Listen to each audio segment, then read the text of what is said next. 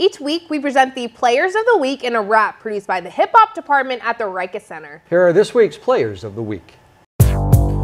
Okay. Yeah. We at the Riekes Center.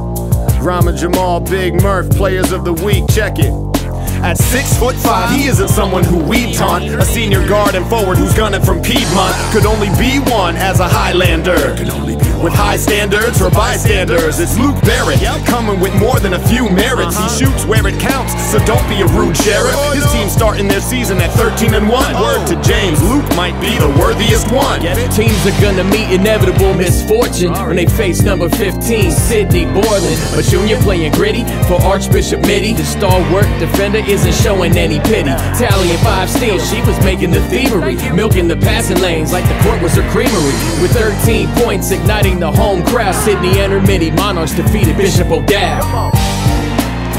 Oh yeah, Riekes Center.